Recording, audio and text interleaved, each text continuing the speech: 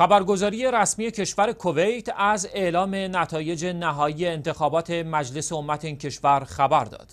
بر اساس نتایج اعلام شده شیعیان کویت که بیش از سی درصد جامعه این کشور را تشکیل می‌دهند توانستند تنها با شش کرسی در مجلس امت حضور یابند.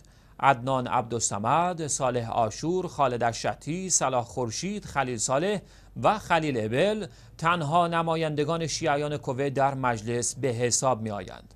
به گزارش منابع محلی شیعیان کویت با اشاره به جمعیت کثیر خود خواستار سهمی بیشتر در مجلس این کشور شدند و از حکومت این کشور خواستند در قانون انتخابات مجلس تجدید نظر کند.